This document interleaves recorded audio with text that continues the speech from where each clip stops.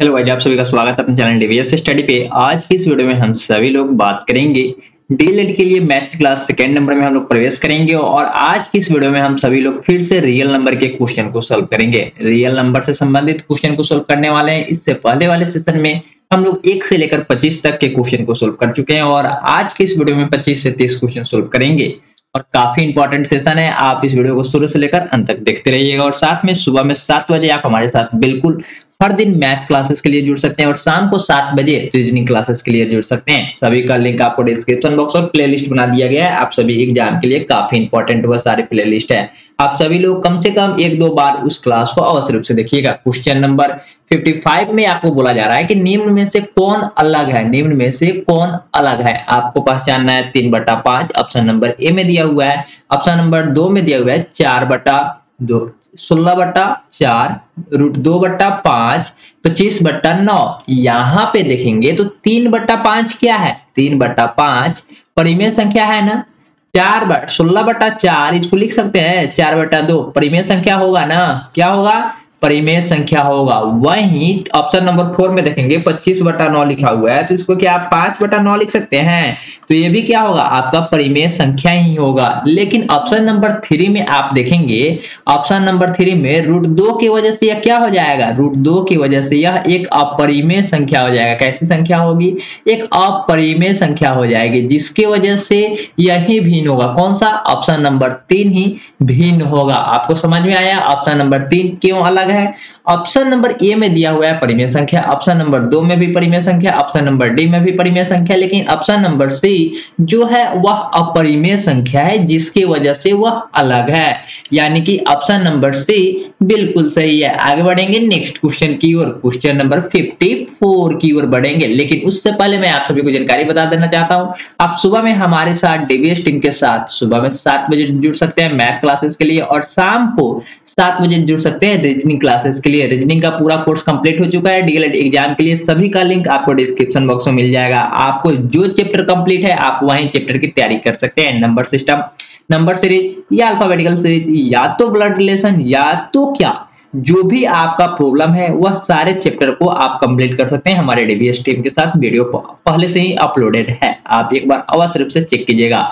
आगे बढ़ेंगे next question की ओर। नेक्स्ट क्वेश्चन भी काफ़ी इंपॉर्टेंट है। यहाँ पे बढ़ेंगे क्वेश्चन नंबर 53 की ओर। यहाँ पे बोला जा रहा है कि निम्न में से कौन परिमेय संख्या है? निम्न में से कौन परिमेय संख्या है? पाई कैसी संख्या है? पाई कैसी संख्या है? तो अपरिमेय संख्या है। कैसी संख्या है? तो अपरिमेय संख्या है। रूट सेवन के बारे में तो आप जानते हैं कि रूट के अंदर जो भी संख्याएँ होगी, अगर उसका पूर्ण वर्ग नहीं होगा तो वे सभी संख्याएँ अपरिमेय संख्याएँ होगी। तो क्या होगा? अपरिमेय हो गया। यहाँ पे रूट तीन बट्टा रूट दो देखेंगे तो क्या होगा? ये भी अपरिमेय संख्या होगा, क्योंकि रूट दो बटा रूट तीन और रूट दो का परिमेय अपरिमेय संख्या है, क्योंकि रूट तीन का भी कोई पूर्ण वर्ग नहीं है और रूट दो का भी कोई पूर्ण वर्ग नहीं है। और रूट तीन से रूट दो कटेगा भी नहीं, ऊपर नीचे भी नहीं कटेगा। यानी कि ऊपर में भी रूट तीन और नीचे में भी रूट दो है, जिसकी वजह से यह एक अपरिमेय संख्या होगा। यानी कि ऑप्शन नंबर फोर ही आपका बिल्कुल सही होगा। आप बोलेंगे कि यहाँ पे भी तो रूट लगा हुआ है, क्या ये नहीं होगा? हाँ यही होगा। क्यों होगा? तो देखिए रूट से जब सोलह बाहर निकलेगा तो क्या बन के निकलेगा? चार निकलेगा। और नीचे पाँच, यानी कि चार बटा पाँच को हम क्या बोलते हैं? पी बाई क्यू के रूप में लिख दिए। Q not equal to zero यानी कि परिमेय संख्या हुआ। ऑप्शन नंबर सी बिल्कुल सही है। ऑप्शन नंबर सी बिल्कुल सही है। इसी प्रकार हम लोग नेक्स्ट क्वेश्चन की ओर बढ़ेंगे। क्वेश्चन नंबर 52 की ओर। हम लोग 55 से डाउन हो रहे हैं। 52 से लेकर 55 से लेकर हम लोग 26 तक जाएँगे और काफ़ी इंपॉर्टेंट क्वेश्चन इसमें सिलेक्ट किए गए हैं। तो आप लोग एक बार अवश्य रूप से देखेंगे। यहाँ पे नेक्स्ट क्वेश्चन जो आपका दिया हुआ है, निम्न में से कौन परिमेय संख्या है। निम्न में से कौन परिमेय संख्या है? या रूट सेवन एक कैसी संख्या है? रूट सेवन अभी हम लोग नेक्स्ट क्वेश्चन के लिए fifty fifty three question number के लिए ऑप्शन नंबर बी में क्या दिया हुआ है? रूट सेवन दिया हुआ है ना? तो यह कैसी संख्या बताया गया है आपको? अपरिमेय संख्या बताया है। तो क्या परिमेय संख्या होगा? नहीं होगा। कैसी संख्या होगी? अपरिमेय संख्या होगी। ऑप्शन नंबर बी बिल्कुल सही हो जाएगा। किस क्वेश्चन के लिए? क्वेश्चन नंबर 52 के लिए ऑप्शन नंबर बी बिल्कुल सही हो जाएगा। अब हम लोग बढ़ेंगे क्वेश्चन नंबर 51 की और पाई कैसी संख्या है? तो अब भी क्वेश्चन नंबर 53 में आप सभी को बताया गया है कि अगर पाई का वैल्यू दे दिया गया हो, बाईस बटा सात दे दिया गया हो तो ये परिमेय संख्या है। क्या है? ये परिमेय संख्या है। लेकिन पाई पूछा जाए कैसी संख्या है तो ये आप बोलेंगे अपरिमेय संख्या है। तो यहाँ पे पाई बोला जा रहा है। पाई कैसी संख्या है? तो अपरिमेय संख्या है। ऑप्शन नंबर सी बिल्कुल सही है। ऑप्शन नंबर सी बिल्कुल सही है। ऑप्शन नंबर सी बिल्कुल सही है। नेक्स्ट क्वेश्चन है 50 नंबर क्वेश्चन में दिया गया है। यदि दो संख्याओं का एचसीएफ यदि दो संख्याओं का एचसीएफ क्या दिया गया है? 15 एच सी एफ़ पंद्रह एलसीएम नब्बे। एलसीएम नब्बे। एलसीएम नब्बे हो तो संख्याओं का गुणनफल क्या होगा? एलसीएम हो तो संख्याओं का गुणनफल क्या होगा? संख्याओं का गुणनफल क्या होगा? तो इसका बिल्कुल सही आंसर क्या हो जाएगा? ऑप्शन नंबर सी हो जाएगा। कौन सा?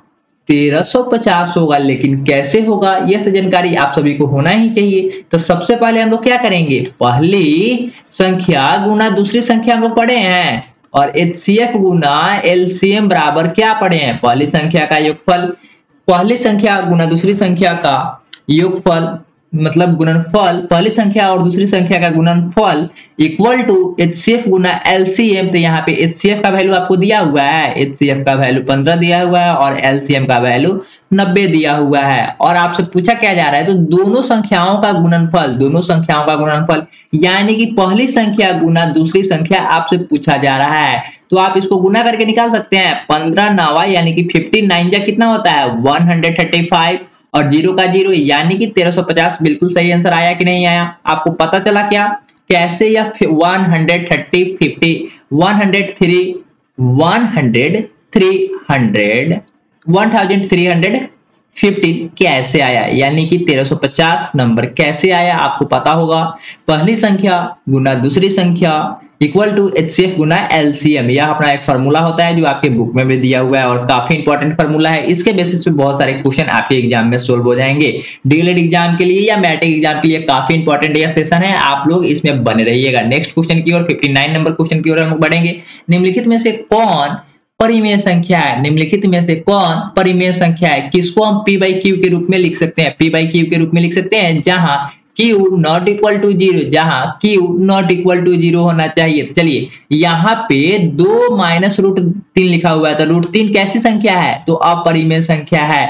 तो आपको पता होगा कि परिमेय संख्या और अपरिमेय संख्या का अंतर अपरिमेय संख्या ही होता है। यानी कि रूट तीन की वजह से ऑप्शन नंबर ए गलत हो जाएगा। यानी कि आपसे तो परिमेय संख्या पूछा जा रहा है ना? तो यहाँ पे यह अपरिमेय संख्या है, जिसके वजह से ऑप्शन नंबर तीन गलत है। Question number B, option number B में देखेंगे रूट पाँच, ये भी कैसा है? ये इसका भी कोई पूर्ण वर्ग नहीं है, और ये भी अपरिमेय संख्या है। कैसी संख्या है? तो अपरिमेय संख्या है। लेकिन दो रूट तीन बटा रूट तीन दिया हुआ है जो ऑप्शन नंबर सी में। अगर आप इसको रूट तीन से रूट तीन कटा देंगे तो कितना बचेगा? दो बटा एक, या इसको आप पी बाई क्यू के रूप में लिख सकते हैं क्या Q not equal to zero है। हाँ है ये सभी? नॉट इक्वल टू ज़ीरो है ना? तो बिल्कुल सही आंसर ऑप्शन नंबर कौन सा हो जाएगा? ऑप्शन नंबर सी ही होगा। रूट सोलह में देखेंगे। तो ये भी क्या है? ये भी सोलह बटा एक आप इसको लिख सकते हैं। लिख सकते हैं ना? तो ये क्या हो जाएगा? ऑप्शन नंबर सी और डी दोनों सही है। यहाँ पे टाइपिंग मिस्टेक है। यहाँ पे टाइपिंग मिस्टेक है। या तो इसको गुना में रूट तीन रहने देना चाहिए। अगर गुना में भी होता है तो रूट तीन से रूट तीन गुना करते तो तीन हो जाता है। यानी कि छह बट्टा एक आ जाता है। यानी कि ऑप्शन नंबर सी और डी दोनों क्या है? परिमेय संख्या है। क्वेश्चन नंबर 49 के लिए काफ़ी इंपॉर्टेंट क्वेश्चन था, आप इसे ध्यान से देखेंगे। नेक्स्ट क्वेश्चन की ओर बढ़ेंगे। नेक्स्ट क्वेश्चन अपना 48 नंबर निम्नलिखित में कौन अभाज्य संख्या है? अभाज्य संख्या हम लोग इससे पहले वाली भी क्लास में हम लोग अटेंड किए हैं। अभाज्य संख्या उसी को बोलते हैं, जिसका मात्र दो फैक्टर हो। मात्र कितने फैक्टर हो? मात्र दो फैक्टर हो, मात्र दो फैक्टर हो। और दो फैक्टर में पहला फैक्टर क्या होना चाहिए? पहला फैक्टर वन और दूसरा factor itself itself इसको आप लिख सकते हैं। इट सेल्फ यानी कि दूसरा नंबर वह खुद उसका फैक्टर होगा। यानी कि तीन का फैक्टर आपसे पूछा जाए तो पहला फैक्टर एक और दूसरा फैक्टर तीन। यानी कि खुद नंबर ही होगा। इसी प्रकार से आपको बताना है कि इसमें मात्र दो ही फैक्टर होना चाहिए। पहला, एक, दूसरा, वह खुद नंबर होना चाहिए। इस प्रकार से दस का आप फैक्टर देखेंगे तो वन है टू है फाइव है और टेन है। यानी कि ये तो होगा ही नहीं अभाज्य संख्या नहीं ना होगा, क्योंकि इसमें एक से भी बाद लग रहा है, दो से भी लग रहा है, पाँच से भी लग रहा है और दस से भी डिवाइड हो जा रहा है। यानी कि ये तो अपना अभाज्य संख्या होगा ही नहीं। थर्टी ट्वेंटी वन का देखेंगे तो वन थ्री सेवन इसके बाद क्या है? ट्वेंटी वन ये सारे भी तो बहुत सारे नंबर से डिवाइड हो रहे हैं तो ये भी नहीं होगा। उसके बाद थर्टी फाइव को चेक करेंगे तो वन उसके बाद five one five seven thirty five आप इसमें भी बहुत सारे नंबर से डिवाइड हो रहे हैं, यानी कि ऑप्शन नंबर सी ही एक ऐसा नंबर है, जो मात्र अभाज्य संख्या एक है, जो कि उसका ऑप्शन नंबर सी बिल्कुल सही है। ग्यारह ग्यारह का जब आप फैक्टर लिखेंगे तो ग्यारह का फैक्टर क्या होगा? या तो एक या तो ग्यारह। इसके अलावा क्या दूसरा कोई फैक्टर होगा? तो बिल्कुल नहीं होगा। इसमें कितने फैक्टर आए? तो मात्र दो ही फैक्टर आए। कौन कौन या तो एक या तो दो। ग्यारह। आया ना? अभाज्य संख्या आपसे पूछा जा रहा था क्वेश्चन नंबर 58 के लिए तो बिल्कुल सही आंसर ऑप्शन नंबर सी होगा। ऑप्शन नंबर सी 58 नंबर के लिए काफ़ी सही है। आगे बढ़ेंगे क्वेश्चन नंबर 47 की ओर। क्वेश्चन नंबर 47 में आपसे पूछा जा रहा है, x के पावर n, x के पावर n, x के पावर n, x के power n plus one x के पावर n प्लस कितना? वन का एक गुणक x प्लस वन है, तब सिर्फ़ तभी क्या होगा? एन एक धनात्मक पूर्णांक होगा एन एक विषम पूर्णांक होगा एन एक ऋणात्मक पूर्णांक होगा और एन एक सम पूर्णांक होगा। एन एक सम पूर्णांक होगा। तो क्या कहा जा रहा है? क्वेश्चन में कहा जा रहा है, इतना का एक गुणक इसका एक गुणक क्या है? एक्स प्लस वन है। तो सिर्फ़ तभी क्या होगा? यानी कि एन एक विषम पूर्णांक होगा ना, विषम पूर्णांक होगा, तभी यह क्या होगा? X प्लस वन इसका एक गुणक होगा। X प्लस वन एक गुणक होगा। कब? जब n इक्वल टू एक विषम पूर्णांक होना चाहिए। यानी कि एक तीन पाँच विषम इंटीजर होना चाहिए। यही अपना बिल्कुल सही आंसर है। आगे बढ़ेंगे क्वेश्चन नंबर फोर्टी सिक्स की ओर। क्वेश्चन नंबर 46 में भी काफ़ी इंपॉर्टेंट है। इसे भी स्टेटमेंट के थ्रू आपको पढ़ना होगा। तो चलिए हम लोग पढ़ते हैं। निम्नलिखित में से कौन सा कथन सत्य है? कौन सा कथन सत्य है? तो इसका बिल्कुल सही आंसर ऑप्शन नंबर बी होगा। ऑप्शन नंबर बी बिल्कुल सही होगा। बाकी सभी आप ऑप्शन को देखेंगे तो कुछ ना कुछ त्रुटियाँ आपको हमेशा निकलेगी ही। दो परिमेय संख्याओं का गुणनफल हमेशा अपरिमेय होता है क्या? दो परिमेय संख्याओं का गुणनफल हमेशा अपरिमेय ही होगा। चलिए रूट तीन, परिमेय संख्या, अपरिमेय संख्या है ना? अपरिमेय संख्या है। आगे हम लोग गुना करते हैं रूट कितना से? कोई ऐसा नंबर आप सोचिए जिसको गुना करने पर पूर्ण वर्ग बन जाए। गुना करने पर पूर्ण वर्ग बन जाए। तो चलिए इसको गुना करते हैं चार और पाँच। चार, पाँच पाँच, चार। यहाँ पे कोई ऐसा नंबर आप बोलिए रूट ग्यारह। उसके बाद रूट सत्रह गुना कीजिएगा तो ये पूर्ण वर्ग आने की कोशिश है और यानी कि क्या हो जाएगा? यह परिमेय संख्या बन जाएगा। हमेशा परिमेय, अपरिमेय संख्याओं का गुणनफल अपरिमेय ही नहीं होता है। हमेशा के वजह से यहाँ पे जो हमेशा बोला गया है, जिसकी वजह से यह गलत है। एक परिमेय एवं एक अपरिमेय संख्या का गुणनफल हमेशा अपरिमेय संख्या होता है। यह बिल्कुल सही है। क्या है? एक परिमेय संख्या, यानी कि परिमेय संख्या दो और एक अपरिमेय संख्या रूट दो का गुणनफल क्या होगा? हमेशा अपरिमेय संख्या ही होगा। तो यहाँ पे क्या है? दो रूट दो, यानी कि कैसी संख्या है? अपरिमेय संख्या है। यानी कि यह स्टेटमेंट फॉलो हुआ। जिसकी वजह से ऑप्शन नंबर बी ही बिल्कुल सही है। आगे भी आप ऑप्शन नंबर सी और डी को आप चेक कर सकते हैं। आगे बढ़ेंगे क्वेश्चन नंबर 45 की ओर। क्वेश्चन नंबर 45 की ओर बढ़ने से पहले हम लोग सेशन को लाइक कर देते हैं क्योंकि काफ़ी इंपॉर्टेंट यह सेशन है। कैसी सेशन है? काफ़ी इंपॉर्टेंट सेशन है। आप इसे लाइक कर दीजिएगा, अपने सारे दोस्तों के साथ शेयर भी कर दीजिएगा। बिल्कुल फ्री ऑफ़ कॉस्ट ये क्लासेस आप सभी के लिए उपलब्ध कराई जा रही है और डीबीएस टीम के द्वारा उपलब्ध कराई जा रही है। आप यहाँ पे देखेंगे क्वेश्चन नंबर 44 की ओर बढ़ेंगे। तो क्वेश्चन नंबर 44 में आपसे पूछा जा रहा है, क्या क्वेश्चन नंबर 44 में आपसे पूछा जा रहा है कि निम्नलिखित में से कौन सा भिन्न दशमलव प्रसार का शांत है। भिन्न, कौन सा भिन्न, यानी कि फ्रैक्शन किस फ्रैक्शन का दशमलव प्रसार क्या है? शांत है। दशमलव प्रसार शांत होने के लिए क्या होता है? ऊपर में जो भी हो, नीचे में टू के पावर एन या टू के पावर एम, फाइव के पावर एन या एम होना चाहिए। यानी कि दो और पाँच के अलावा कोई दूसरा फैक्टर आना ही नहीं चाहिए। जब उसका आप गुणनखंड तोड़ेंगे तो आना ही नहीं चाहिए। जब आप यहाँ पे ऑप्शन नंबर तीन में देखेंगे ऑप्शन नंबर तीन में देखेंगे तो क्या होगा? रूट सेवन तीन सौ तैतालीस को आप क्या लिख सकते हैं? तीन सौ तैतालीस को equal to seven root three लिख सकते हैं। Root three seven root seven के पावर थ्री की वजह से सेवन का पावर थ्री भी कैंसिल होगा। और इसका आंसर क्या होगा? वन बाई टू के पावर थ्री गुना फाइव के पावर थ्री यानी कि यहाँ पे क्या आया? वन के पावर टू वन बटा टू के पावर थ्री गुना पाँच के पावर थ्री हुआ ना? ऑप्शन नंबर सी ही बिल्कुल सही होगा। बाकी सब आप चेक करेंगे तो इसमें भी सेवन आएगा। क्या आएगा? इसमें भी सेवन आएगा, जिसकी वजह से ऑप्शन नंबर ए नहीं होगा। इसमें भी चेक करेंगे तो इसका भी फैक्टर आप करेंगे तो तीन आएगा। और इनमें से कोई ऑप्शन कब होता है, जब ऑप्शन नंबर जितने भी ऑप्शन दिए होंगे, उसमें से कोई भी ऑप्शन बिल्कुल सही आंसर नहीं होगा तो वही अपना बिल्कुल सही आंसर होता है। लेकिन यहाँ पे तो ऑप्शन नंबर सी बिल्कुल सही है ना? तो ऑप्शन नंबर सी ही बिल्कुल सही आंसर हो जाएगा। यह क्वेश्चन आपको समझ में आया गया? नहीं समझ में आया तो इस क्वेश्चन को हम लोग फिर से रिपीट करते हैं। यह क्वेश्चन में आपसे कहा जा रहा है कि निम्नलिखित में से कौन सा कौन सा भी दशमलव प्रसार शांत है? यानी कि किस फ्रैक्शन का दशमलव प्रसार शांत है? तो दशमलव प्रसार शांत होने के लिए टू के पावर एन या टू के पावर एम गुना पाँच के पावर एन या एम यानी कि जिस पे एम होगा, बगल वाले पे एन और फ़र्स्ट वाले पे एम तो दूसरे वाले पे एन इस प्रकार से यह इसका रूल है। जब यही होगा तो इसका रूल क्या है? जब बट्टा में जब इसका फ्रैक्शन हम तोड़े, नीचे वाले नंबर का तो नीचे में जब इसका फैक्टर हम तोड़ते हैं तो दो और पाँच के अलावा कोई दूसरा नंबर आना ही नहीं चाहिए। लेकिन यहाँ पे सात सौ और इक्कीस को तोड़ेंगे तो यहाँ पे तीन और सात दोनों आ जाएगा, जो कि बिल्कुल गलत होगा। यानी कि यहाँ पे ऑप्शन नंबर बिल्कुल ऑप्शन नंबर से ही सही है, क्योंकि 343 को आप 7 के पावर 3 इक्वल टू टू के पावर 3 गुना 5 के पावर 3 गुना 7 का पावर 3 7 के पावर 3 से थे 7 के पावर 3 आप कटाएँगे 1 बाई टू के पावर 3 गुना 5 के पावर 3 आप इसको लिखेंगे, नीचे में देख रहे हैं 2 के पावर एन गुना 5 के पावर एम लिखा हुआ है ना? हाँ बिल्कुल सही आंसर ऑप्शन नंबर से ही होगा, क्योंकि नीचे में दो और पाँच के अलावा कोई दूसरा नंबर है ही नहीं। अगर होगा तो वह क्या होगा? वह अशांत हो जाएगा। लेकिन यहाँ पे नहीं है, जिसकी वजह से यह आंसर बिल्कुल शांत होगा। यहाँ पे क्वेश्चन नंबर है कौन सा? क्वेश्चन नंबर 45 काफ़ी इंपॉर्टेंट क्वेश्चन है। यदि एन एक प्राकृतिक संख्या है एन एक प्राकृतिक संख्या है, तब रूट एन है। तब रूट एन क्या होगा? प्राकृतिक संख्या हम किसको बोलते हैं? गिनती की संख्या को प्राकृतिक संख्या बोलते हैं ना।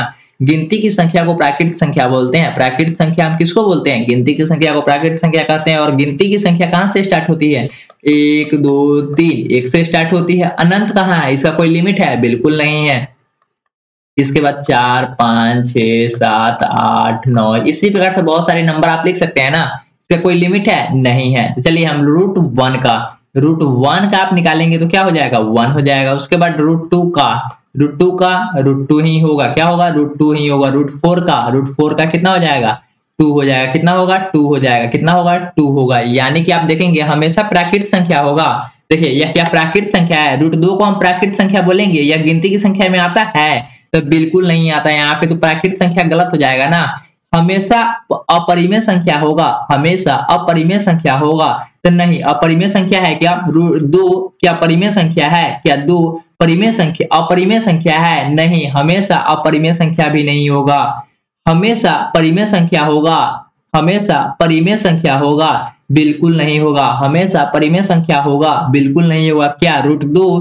क्या रूट दो परिमेय संख्या है? क्या रूट दो परिमेय संख्या है? बिल्कुल नहीं। यानी कि ऑप्शन नंबर डी बिल्कुल सही होगा। ऑप्शन नंबर डी इसका बिल्कुल सही आंसर हो जाएगा। क्या होगा? कभी प्राकृतिक संख्या, कभी अपरिमेय संख्या, कभी प्राकृतिक संख्या और कभी अपरिमेय संख्या। एक और दो को हम क्या बोलेंगे? एक और दो को, एक और दो को हम क्या बोलेंगे? एक और दो को हम प्राकृतिक संख्या बोल सकते हैं कि नहीं? एक और दो को हम प्राकृतिक संख्या बोल सकते हैं कि नहीं? हाँ नेचुरल नंबर बिल्कुल बोल सकते हैं। और रूट दो को रूट तीन को रूट पाँच को रूट सात को रूट ग्यारह को और रूट तेरह को हम क्या? क्या बोल सकते हैं? अपरिमेय संख्या बोल सकते हैं ना? यानी कि यदि n एक प्राकृत संख्या है, तब रूट एन है, क्या होगा? कभी प्राकृत संख्या, कभी अपरिमेय संख्या होगा। ऑप्शन नंबर डी बिल्कुल सही है। आगे बढ़ेंगे क्वेश्चन नंबर 43 की ओर। क्वेश्चन नंबर 43 भी काफ़ी इंपॉर्टेंट है। यहाँ पे आप देखेंगे संख्या रेखा नंबर लाइन संख्या रेखा हम लोग क्या बोलते हैं? संख्या रेखा यही ना है। इसी को जब हम लोग अरेंज करते हैं, कोई नंबर को दर्शाते हैं तो इस प्रकार से हम लोग दर्शा देते हैं ना।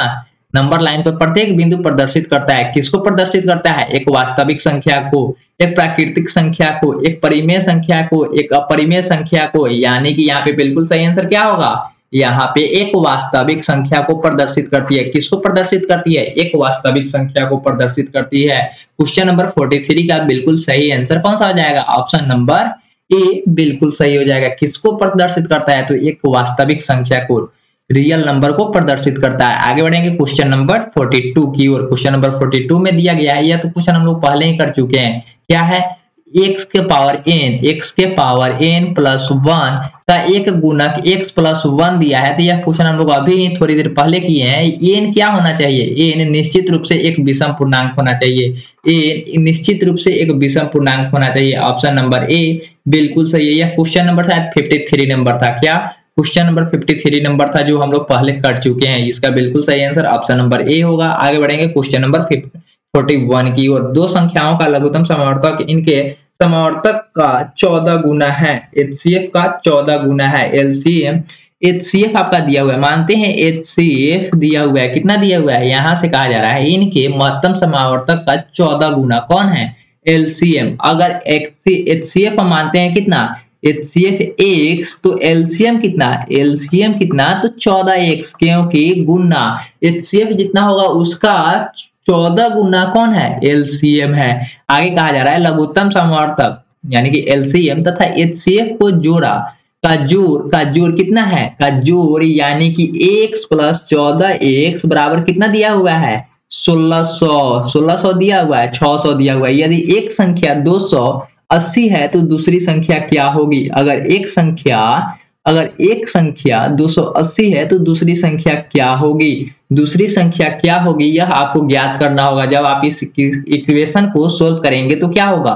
यहाँ पे देखिए, x बराबर या पंद्रह एक्स आप इसको लिख सकते हैं। पंद्रह एक्स बराबर छह सौ एक्स बराबर आप लिख सकते हैं चालीस। एक्स बराबर कितना आया? चालीस। एक्स बराबर चालीस आया। और इसका चौदह गुना, यानी कि एच आपका कितना हो जाएगा? एच आपका हो जाएगा चालीस। और एलसीएम कितना हो जाएगा? चौदह। चौका कितना? छप्पन। पाँच सौ साठ। हुआ ना? यानी कि पहली संख्या 280 है तो दूसरी संख्या क्या होगा? दूसरी संख्या क्या होगा? आपको बताना होगा ना। दूसरी संख्या क्या होगा? तो दूसरी संख्या बिल्कुल 80 हो जाएगा। क्या होगा? 80 हो जाएगा। Option number B. बिल्कुल सही है। Option number B. बिल्कुल सही है। आगे बढ़ेंगे। क्वेश्चन नंबर फोर्टी की और काफ़ी इंपॉर्टेंट क्वेश्चन है। संख्या तेईस। कितना लिखा हुआ है? तेईस दशमलव फोर्टी थ्री के ऊपर बार दिया हुआ है, यानी कि रेखिंग डाला हुआ है दोनों नंबर के ऊपर। को पी बाई क्यू के रूप में जहाँ पी क्यू पूर्णांक है पी क्यू पूर्णांक है Q not equal to zero प्रकट किया जा सकता है। नॉट इक्वल टू ज़ीरो प्रकट किया जा सकता है। तो इसको हम लोग आज ही के सेशन में कुछ देर पहले हम लोग पढ़े हैं कि जितने नंबर के ऊपर रेकरिंग होगा, जितने नंबर के ऊपर रेकरिंग होगा या फाइव होगा, उतना ज़ीरो उसके नीचे में बैठाते हैं। उतना ज़ीरो उसके नीचे में बैठाते हैं। उतना ज़ीरो उसके नीचे में बैठाते हैं। तो इसका बिल्कुल सही आंसर क्या होना चाहिए? जब इसको आप अरेंज करेंगे, जब इसको आप अरेंज करेंगे तो क्या होगा? जब आप इसको अरेंज करेंगे तो तेईस सौ तैतालीस, क्या होगा? तेईस सौ तैतालीस बटा, क्या आप सौ लिख सकते हैं? या आप सौ लिख सकते हैं? एवरेज में एवरेज में सौ लिख सकते हैं अप्रोक्स कुछ मान इतना ही होगा। तो क्या तेईस सौ बीस होगा? देखिए, क्या तेईस सौ बीस होगा? तेईस सौ बीस। लास्ट में तो दो है ही नहीं। लास्ट में क्या दिया हुआ है? लास्ट में तीन दिया हुआ है तो ये तो गलत होगा ना? ये तो गलत हो जाएगा, यानी कि यहाँ पे ये भी गलत हो जाएगा। यानी कि यहाँ पे तीन गो नौ होगा। देखिए, तीन गो नौ होगा क्या? जब दो गो नंबर पे रेकरिंग है, जब दो गो नंबर पे रेकरिंग है तो क्या तीन गो नौ कैसे हो जाएगा? जब दो ही नंबर पे रेकरिंग है तो तीन गो नौ कैसे होगा? यानी कि इसके वजह से यहाँ पे एक गलत हो गया। जब ये तीनों ऑप्शन गलत हो गए तो एक ही ऑप्शन बनता है। कौन सा ऑप्शन इसका बिल्कुल सही रूप जब आप लिखेंगे तो इसका बिल्कुल सही रूप क्या होगा? जब इसका बिल्कुल सही रूप आप लिखेंगे तो तेईस पूर्णांक तैतीस बटा निन्यानवे ही होना चाहिए। लेकिन यहाँ पे सौ दे दिया गया है क्योंकि दो नंबर के, दो अंक के बाद दशमलव दिया हुआ है। दशमलव को सिर्फ़ नंबर में चेंज कर दिया गया और इसका अप्रोक्स वैल्यू कितना मान लिया गया है? तेईस सौ तैतालीस बट्टा सौ अप्रोक्स वैल्यू मानने के बाद यह ऑप्शन दिया गया है, यानी कि इसकी वजह से ऑप्शन नंबर बी बिल्कुल सही है। आगे बढ़ेंगे क्वेश्चन नंबर थर्टी नाइन की ओर। क्वेश्चन नंबर थर्टी नाइन की ओर बढ़ने से पहले हम लोग सेशन को लाइक कर देंगे, अपने सारे दोस्तों के साथ शेयर कर देंगे, क्योंकि इसी प्रकार की वीडियो अपने चैनल डीबीएस स्टडी में मात्र सबसे पहले और सबसे तेज पब्लिश किए जाते हैं तो आप मेरे साथ बने रहिएगा डीबीएस टीम के साथ और आप सभी के लिए काफ़ी इंपॉर्टेंट सेशन रहेंगे। आगे बढ़ेंगे नेक्स्ट क्वेश्चन की ओर। नेक्स्ट क्वेश्चन है, यहाँ पे ज़ीरो पॉइंट क्या लिखा हुआ है? ज़ीरो पॉइंट थर्टी टू के ऊपर बार दिया हुआ है, यानी कि रेकरिंग दिया हुआ है। इसको भी आपको नोट करना है ना? डिनोट कर देना है कैसे? बत्तीस बटा सौ।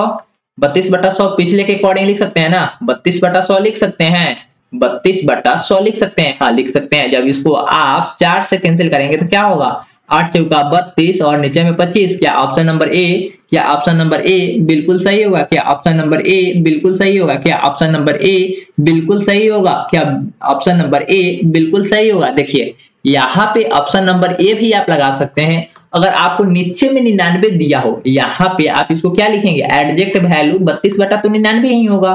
क्या एडजेक्ट वैल्यू क्या होगा? इससे पहले वाले क्वेश्चन में भी हम लोग एडजेक्ट वैल्यू की बात किए थे तो एडजेक्ट वैल्यू कितना आया था? जितने नंबर के ऊपर, जितने नंबर के ऊपर रेकरिंग दिया होगा, उतना ही नौ। तो नीचे में तो दो नंबर के ऊपर क्या रेकरिंग दिया हुआ है ना? दो नंबर के ऊपर जब रेकरिंग दिया हुआ है तो यहाँ क्या है? बत्तीस बटा निन्यानवे लिखा हुआ है, बत्तीस बटा निन्यानवे लिखा हुआ है ना?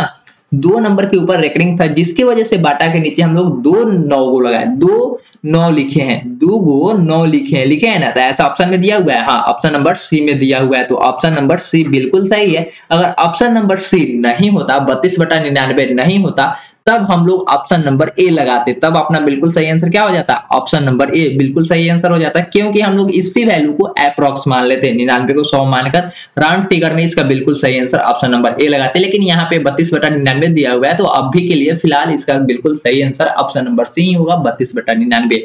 आगे बढ़ेंगे क्वेश्चन नंबर थर्टी एट की ओर। क्वेश्चन नंबर थर्टी एट में दिया हुआ है, प्रथम, यदि प्रथम यदि प्रथम तेरह नौ सौ छियासी, तेरह नौ सौ छियासी अभाज्य संख्याओं का योग, एन है अभाज्य संख्याओं का योग, एन है इसका योग एस कितना दिया हुआ है? एस एन इक्वल टू दिया हुआ है N. S N equal to N है तो एन हमेशा भाज्य संख्या से क्या होगा? भाज्य संख्या से क्या होगा? भाज्य संख्या से क्या होगा? भाज्य संख्या से क्या होगा? इस क्वेश्चन का सोल्व करके आप आंसर बताने की कोशिश करेंगे कमेंट सेक्शन में। चलिए नेक्स्ट क्वेश्चन की ओर चलते हैं। यह क्वेश्चन आपके लिए क्वेश्चन ऑफ़ द डे के रूप में रखा जा रहा है। देखते हैं कितने सारे लोग अभी तक इस वीडियो को देख रहे हैं। क्या वीडियो को आप स्किप भी करते हैं? जो लोग स्किप करेंगे तो उसको हम सोचेंगे कि वह लोग वीडियो को देखते ही नहीं पूरा है। आप बताइएगा इसका आंसर क्या होगा? क्वेश्चन नंबर 37 में दिया हुआ है। सबसे छोटी पूर्ण वर्ग संख्या, जो 16 पूर्ण वर्ग संख्या सोलह, बीस, चौबीस। सोलह बीस, चौबीस। प्रत्येक से भाज्य हो, वह संख्या ज्ञात करे। सबसे छोटी संख्या ज्ञात करना है। सबसे छोटी संख्या ज्ञात करना है तो आपको क्या करना होगा? जिसका पूर्ण वर्ग बिल्कुल हो तो क्या होगा? जो सभी को डिवाइड भी कर दे, सभी से डिवाइड भी हो जाए तो आप इसका एलसीएम निकाल क्या करेंगे? इसका आप एलसीएम निकाल लेते हैं। इसका क्या करेंगे? आप इसका एलसीएम निकाल लेते हैं तो दो से एलसीएम निकालेंगे तो आठ, दस, बारह। इसको और आगे सोल्व करेंगे। तो दो, चार, पाँच, उसके बाद छ, फिर से दो से करेंगे तो कितना होगा? दो। कितना होगा? दो। उसके बाद पाँच होगा ना? फिर से तीन। अब इसके अलावा कोई नंबर से लगेगा? डिवाइड या कोई दूसरे नंबर से लगेगा? तो बिल्कुल नहीं लगेगा। देखिए, दो सौ, दो दो, चार चार दूना आठ आठ दूना सोलह सोलह पचे अस्सी अस्सी दो सौ चालीस, अस्सी दो सौ चालीस, अस्सी 240 हुआ ना? अब देखिए 240 क्या 16 को डिवाइड करेगा? क्या 240 16 को डिवाइड करेगा? क्या 16 से 240 डिवाइड होगा? होगा क्या? बिल्कुल नहीं होगा। क्यों नहीं होगा? इसके बारे में आप जानकारी आगे प्राप्त करेंगे। और पूर्ण वर्ग संख्या है क्या? यह प्रत्येक सबसे छोटी पूर्ण वर्ग संख्या है। 240 का वर्ग निकलेगा। 240 को जब आप रूट एंडर में डालेंगे 240 को रूट एंडर में डालेंगे तो होगा। कटेगा क्या? नहीं ना कटेगा। तब क्या होगा? इसी का कोई मल्टीपल ऐसा होगा जो पूर्ण वर्ग होगा। तो चलिए, इसका मल्टीपल आप लिखेंगे तो क्या होगा? जब इसका आप मल्टीपल लिखेंगे तो दूसरा मल्टीपल क्या होगा? 1600 आएगा क्या? 1600 आएगा। 1600 आएगा क्या? आएगा। नहीं आएगा। आगे बढ़ेंगे तो इसका मल्टीपल 10 से गुना करेंगे तो 2400 होगा। जब 240 का कोई पूर्ण वर्ग नहीं है तो 2400 का भी कोई पूर्ण वर्ग नहीं होगा। आगे बढ़ेंगे तो इसी की मल्टीपल में आपको कितना आएगा? 3600 आ जाएगा। कितना आएगा? 3600 आएगा। और 3600 का पूर्ण वर्ग क्या होगा? 3600 का पूर्ण वर्ग छायक छत्तीस और ज़ीरो साठ पूर्ण वर्ग इसका बिल्कुल सही आंसर हो जाएगा। ऑप्शन नंबर डी बिल्कुल सही आंसर होगा। सबसे पहले आपसे क्वेश्चन में कहा जा रहा है क्वेश्चन नंबर थर्टी सेवन में सबसे छोटी पूर्ण वर्ग संख्या जो 16, 20 तथा 24 प्रत्येक से भाज्य हो। प्रत्येक से भाज्य होने के लिए और सबसे छोटी संख्या पूछा जा रहा है जिसकी वजह से हम लोग यहाँ पे क्या किए? एलसीएम निकाले। एलसीएम निकाले तो 240 आया। तो हम लोग यहीं पे अगर यह पूर्ण वर्ग होता तो अपना आंसर तो यही होता। लेकिन यह तो पूर्ण वर्ग है नहीं। तो इसी का ना कोई, अगर हम इसका एलसीएम निकाले तो सभी नंबर से तो यह डिवाइड हो रहा है ना। तो अब हमें कुछ करने की ज़रूरत है। इसी का कोई मल्टीपल अपना पूर्ण वर्ग संख्या होगा। तो इसी के मल्टीपल में हम लोग आगे जाएँगे तो 3600 इसका एक मल्टीपल होगा 240 का ही, जो क्या होगा? बिल्कुल पूर्ण वर्ग संख्या होगा। पूर्ण वर्ग संख्या होगा। क्या होगा? तो पूर्ण वर्ग संख्या होगा, और वही छत्तीस इसका बिल्कुल सही आंसर हो जाएगा। ऑप्शन नंबर डी बिल्कुल सही है। आगे बढ़ेंगे। क्वेश्चन नंबर थर्टी सिक्स की ओर। क्वेश्चन नंबर थर्टी सिक्स की ओर आगे बढ़ेंगे। और यहाँ पे आपको बिल्कुल सही आंसर बताना है कि जब आप रूट दस में रूट दस गुना रूट पंद्रह, कितना? रूट दस गुना रूट पंद्रह करेंगे तो इसका बिल्कुल सही आंसर क्या होगा? यहाँ से आप करेंगे तो इसको अंडर में रूट में लिख सकते हैं। दस गुना पंद्रह। लिख सकते हैं कि नहीं? हाँ लिख सकते हैं। जब इसको आप लिखेंगे तो इसको गुना करने पर डेढ़ सौ आया। जब डेढ़ सौ का आप तोड़ेंगे, तब पचका पच्चीस रूट छ पचका पच्चीस पच्चीस में छह से गुना करेंगे तो क्या हो जाएगा? पच्चीस में छह से आप गुना करेंगे तो डेढ़ सौ आ जाएगा ना? ऑप्शन नंबर ए बिल्कुल सही हो जाएगा। आपको यहाँ पे वैल्यू बताना था कि इसके बराबर में कौन है? जब आप छाया छत्तीस और छत्तीस में पाँच से गुना करेंगे तो सौ पच्चीस और डेढ़ एक सौ अस्सी हो जाएगा। कितना होगा? इसका वैल्यू जब इसको आप गुना करेंगे तो कितना हो जाएगा? 180 180 का इतना लिखा जाता है। रूट तीस और रूट पच्चीस तो आ ही नहीं सकता। है ऑप्शन नंबर ए या ऑप्शन नंबर बी तो इसका बिल्कुल सही आंसर ऑप्शन नंबर ए होगा। कैसे होगा? ये तो जानकारी आपको मिल ही चुकी होगी। कैसे होगा? आगे बढ़ेंगे क्वेश्चन नंबर थर्टी फाइव की और क्वेश्चन नंबर थर्टी फाइव भी काफ़ी इंपॉर्टेंट है। चौसठ के वर्गमूल को चौसठ के घनमूल से भाग देने का मान, देने का मान होगा। देने पर मान क्या होगा? देने पर मांग या भाग क्या होगा? मान क्या होगा? चौसठ के वर्गमूल। चौसठ के वर्गमूल। वर्गमूल का मतलब क्या होता है? स्क्वायर और घनमूल से भाग देना है। घनमूल से भाग देने का मान क्या होगा? यानी कि चौसठ के पावर चौसठ के पावर कितना? चौसठ के पावर तीन से हमें भाग देना है। किसमें? चौसठ के पावर तीन में चौसठ के पावर दो से हम भाग करेंगे। तो कितना होगा? चौसठ के पावर दो से भाग करेंगे। तो इसको आप लिख सकते हैं। चौसठ गुना चौसठ गुना चौसठ, फिर से चौसठ गुना चौसठ, दो चौसठ से दो चौसठ कैंसिल कितना बचा? एक चौसठ बचा, यानी कि ऑप्शन नंबर ए बिल्कुल सही है। क्या है? ऑप्शन नंबर ए बिल्कुल सही है। आगे बढ़ेंगे। क्वेश्चन नंबर थर्टी फोर की ओर। क्वेश्चन नंबर थर्टी फोर में बोला जा रहा है कि पहला नंबर है सिक्स एक्स के पावर फोर वाई दूसरा नंबर है बारह एक्स वाई का महत्तम क्या होगा? एचसीएफ हमें निकालना है। एचसीएफ निकालने के लिए हम लोग क्या करते हैं? सबसे पहले छोटे वाले नंबर को चुनते हैं। सबसे पहले छोटे वाले नंबर को चुनते हैं और चेक करते हैं कि उसमें से क्या वह सभी नंबर को डिवाइड कर देगा छोटा वाला नंबर। तो हम लोग यहाँ पे नंबर नंबर को सिर्फ़ देखेंगे तो छ तो बार को डिवाइड करेगा। तो अपना नंबर क्या होगा? छ ही होगा। लेकिन एक्स वाई में बात फंसता है। तो यहाँ पे भी y कितना है? y एक ही है और यहाँ पे भी y एक ही है। यानी कि y तो होगा। Y तो होगा आंसर में, होगा ना? लेकिन x भी होगा, क्योंकि x सिक्स वाले नंबर में भी है और ट्वेल्व वाले नंबर में भी है। ट्वेल्व वाले नंबर में x एक ही है और छह वाले नंबर में, यानी कि सिक्स वाले नंबर में x के पावर फोर है, यानी कि चार गो x है। तो हमें कॉमन ही सिर्फ़ देखना होता है तो एक ही ना x कॉमन है। यानी कि अपना H C F six X square होगा six X Y six X Y इसका बिल्कुल सही आंसर हो जाएगा ऑप्शन नंबर डी। आगे बढ़ेंगे क्वेश्चन नंबर थर्टी थ्री की ओर। क्वेश्चन नंबर थर्टी थ्री, काफ़ी इंपॉर्टेंट क्वेश्चन है और आपसे पूछा जा रहा है कि इसके और इसके बीच में अपरिमेय संख्या कौन है? अपरिमेय संख्या कौन है? अपरिमेय संख्या आपको बताना है। तो चलिए, दो, क्या लिखा हुआ है? दो तथा और 2.5 के बीच में ही आपको अपरिमेय संख्या बताना है। तो रूट ग्यारह का वैल्यू आप निकालेंगे तो रूट नौ का वैल्यू क्या होता है? तीन, यानी कि, और रूट सोलह का वैल्यू चार, यानी कि तीन और चार के बीच में इसका कौन वैल्यू आएगा? लेकिन आपसे क्वेश्चन में क्या पूछा जा रहा है? दो और दो पॉइंट पाँच के बीच में ही उसका वैल्यू आना चाहिए। तो ऑप्शन नंबर ए तो होगा क्या? बिल्कुल नहीं होगा। ऑप्शन नंबर पाँच का आप देखेंगे तो इसको बाद में देखते हैं, उससे पहले हम लोग यहाँ पे 125 को सोल्व करने की कोशिश करते हैं।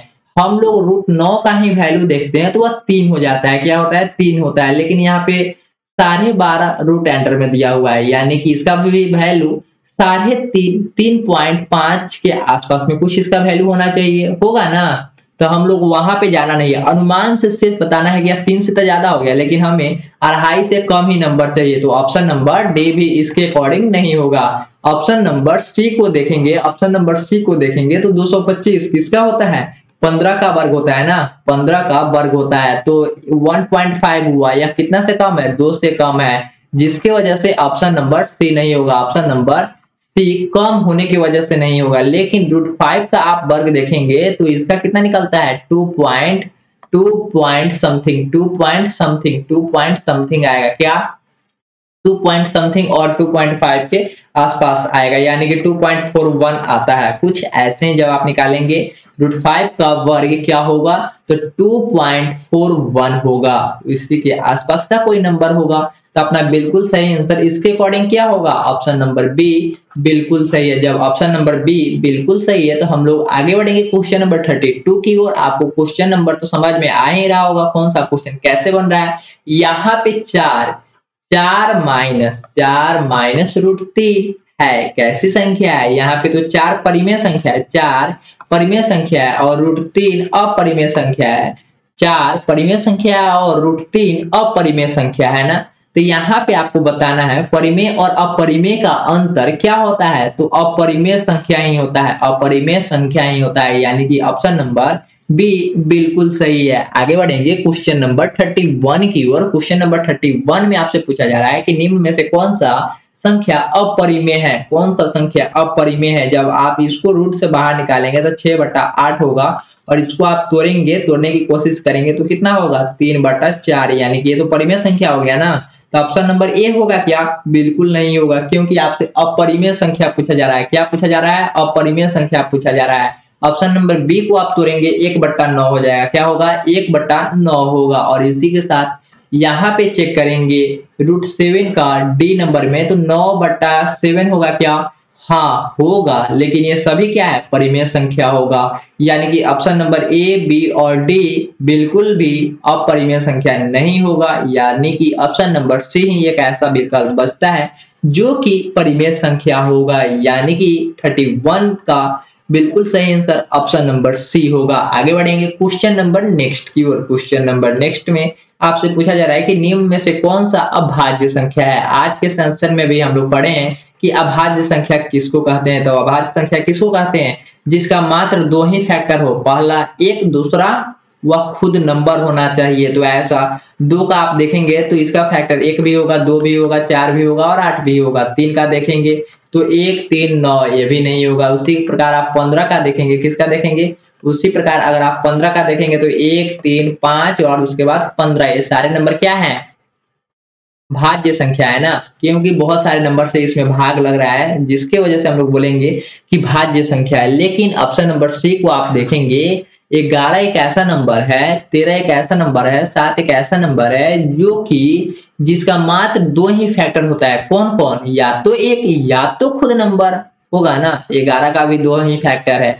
एक और दूसरा ग्यारह। इसके अलावा कोई दूसरा फैक्टर है ही नहीं ग्यारह का। यानी कि ऑप्शन नंबर सी बिल्कुल सही होगा। ऑप्शन नंबर क्या होगा? ऑप्शन नंबर सी बिल्कुल सही होगा। आगे बढ़ेंगे। क्वेश्चन नंबर 29 की ओर। क्वेश्चन नंबर 29 में आपसे पूछा जा रहा है कि छह बट्टा पंद्रह का दशमलव प्रसार शांत है कि अशांत? शांत है कि अशांत। तो यहाँ पे इसको हम लोग भाग करने की कोशिश करते हैं। पंद्रह में हमें छह से भाग करना है। पंद्रह में हमें छह से भाग करना है। पंद्रह में हमें कितने से भाग करना है? छह से भाग करना है। पंद्रह में हमें छह से भाग करेंगे तो इसका दशमलव प्रसार शांत हुआ कि अशांत। इसके बारे में हमें बताना है। तो मानते हैं दशमलव बैठाएँगे तो क्या होगा? साठ हो जाएगा और पंद्रह चौका साठ, यानी कि तो ये तो कट गया ना। तो क्या होगा? दशमलव प्रसार इसका शांत हो जाएगा। दशमलव प्रसार इसका शांत होगा। क्या होगा इसका? दशमलव प्रसार शांत हो जाएगा क्वेश्चन नंबर ट्वेंटी नाइन की ओर। आगे बढ़ेंगे क्वेश्चन नंबर ट्वेंटी एट की ओर। इसमें भी आपसे पूछा जा रहा है थ्री पॉइंट टू सेवन का। दशमलव प्रसार आपसे पूछा जा रहा है। या आपसे पूछा जा रहा है कि सताइस के ऊपर रेकरिंग है तो क्या है? यह कैसी संख्या है? तो यह कैसी संख्या है? अपरिमेय की परिमेय, यह आपको बताना है। तो परिमेय होगा कि अपरिमेय होगा। तो इसको जब आप दशमलव में से रेकरिंग से जब हटाएँगे, यहाँ से रेकरिंग हटाएँगे तो क्या करेंगे? दो ज़ीरो या तो तीन सौ सत्ताईस बटा निन्यानवे लिखेंगे। लिखेंगे ना? तो ये सभी क्या है? परिमेय संख्या है। यानी कि ऑप्शन नंबर बी बिल्कुल सही होगा। ऑप्शन नंबर बी बिल्कुल सही होगा। ऑप्शन नंबर बी बिल्कुल सही होगा। आगे बढ़ेंगे क्वेश्चन नंबर ट्वेंटी। सेवन की ओर। क्वेश्चन नंबर ट्वेंटी सेवन भी काफ़ी इंपॉर्टेंट है। यह पूछा जा रहा है, एक आदमी चौदह मीटर पश्चिम जाता है, पुनः हुआ पंद्रह मीटर उत्तर जाता है, अब वह प्रारंभिक बिंदु से कितनी दूरी पर है? भाई, यह क्वेश्चन किस चैप्टर से ले लिया गया है? यह डायरेक्शन डिस्टेंस क्वेश्चन आ गया है, यहाँ पे टाइपिंग मिस्टेक है। आप इस क्वेश्चन को बना भी सकते हैं। कैसे बनाएँगे? तो देखिए, यहाँ पे ईस्ट वेस्ट हम लोगों को निर्धारित करना है। सबसे पहले पश्चिम दिशा की ओर जाता है। पश्चिम दिशा की ओर चलना शुरू किया मान लीजिए यह अपना मूल बिंदु है ज़ीरो से। यानी कि इसको आप स्टार्टिंग पॉइंट मान सकते हैं। स्टार्टिंग पॉइंट से 24 किलोमीटर 24 मीटर किस दिशा में जाता है? पश्चिम दिशा में वेस्ट में बढ़ा पुनः वह 10 मीटर उत्तर की ओर। यानी कि उत्तर किधर है? ऊपर की ओर 10 मीटर। कितना गया? 10 मीटर गया। यह रियल नंबर में कहाँ से नंबर आ गया है? यह क्वेश्चन ले लिया गया डायरेक्शन एंड डिस्टेंस से। अब वह प्रारंभिक बिंदु से किस दिशा में है? वह प्रारंभिक बिंदु से कितनी दूरी पर है? कितनी दूरी पर है? कितनी दूरी पर है? तो आपसे यहाँ से देखना है। कितना यहाँ से देखना है? तो ये आपको शॉर्टेस्ट डिस्टेंस निकालना है क्या? या आपको शॉर्टेस्ट डिस्टेंस आप इसको कर्ण भी बोलते हैं? कर्ण भी बोलते हैं। तो 10 का स्क्वायर कितना हो जाएगा? 100 प्लस 24 का स्क्वायर 500 कितना? 576 शायद होता है। 576 होता है जब आप इसको जोड़ेंगे। तो क्या होगा, आप देख लीजिएगा सोल्व कर लीजिएगा, जो आएगा वही बिल्कुल सही आंसर हो जाएगा। इसका शायद 26 आंसर आएगा। कितना आएगा? 26 आना चाहिए। 26 आना चाहिए। जब आप इसको सोल्व करेंगे तो बिल्कुल 26 ही आना चाहिए और आएगा भी। आएगा भी 26 ऑप्शन नंबर सी बिल्कुल सही हो जाएगा। आगे बढ़ेंगे क्वेश्चन नंबर 26 की और क्वेश्चन नंबर 26 में भी दिया गया है। दो संख्याओं ए और 18 ए एक संख्या है ए और दूसरी संख्या 18 का लॉस यानी कि एलसीएम एलसीएम दिया हुआ है 36 और H C F H C F दिया हुआ है दो। एच सी एफ़ कितना दिया हुआ है? दो। तो आपको पूछा जा रहा है कि दोनों नंबर का ए का वैल्यू क्या है? आपको ए का वैल्यू बताना है तो इस क्वेश्चन को आप कैसे सोल्व करेंगे? इस क्वेश्चन के लिए फॉर्मूला हम लोग पढ़े हैं ना। पहली संख्या गुना दूसरी संख्या बराबर एलसीएम गुना एच सी एफ़ एलसीएम गुना एच सी एफ़ पढ़े हैं। हाँ पढ़े हैं। एक क्या है? पहली संख्या क्या है? ए, गुना। दूसरी संख्या ग्यारह, अठारह है। एलसीएम कितना दिया हुआ है? एलसीएम दिया हुआ है छत्तीस। एलसीएम कितना दिया हुआ है? यहाँ से देख लेंगे। एलसीएम दिया हुआ है आपका छत्तीस। एलसीएम दिया हुआ है आपका छत्तीस। क्वेश्चन में से देख लेंगे। और एच आपका दिया हुआ है दो। इधर जब है तो 18 से 36 आप कटा सकते हैं। हाँ बिल्कुल कट जाएगा। ए बराबर क्या हो जाएगा? दो गुना दो करेंगे तो कितना हो जाएगा? चार। ऑप्शन नंबर कौन सा? ऑप्शन नंबर सी बिल्कुल सही है। इसी के साथ अपने सारे सेशन को समाप्त करते हैं, क्योंकि अपने सारे क्वेश्चन इतना ही तक थे। कितने क्वेश्चन थे? इतना ही क्वेश्चन था और काफ़ी इंपॉर्टेंट सेशन था। अगर आपको पसंद आई होगी तो वीडियो को लाइक कर दीजिएगा, अपने सारे दोस्तों के साथ शेयर कर दीजिएगा। और इसी प्रकार के सेशन हमारे साथ डिवेश टीम के साथ जुड़िएगा सुबह में सात बजे मैथ के लिए और सुबह शाम को सात बजे रीजनिंग क्लासेस के लिए। आज के लिए इतना ही था। फिर मिलेंगे कल नए वीडियो के साथ। Thanks for this video bye bye जय हिंद जय भारत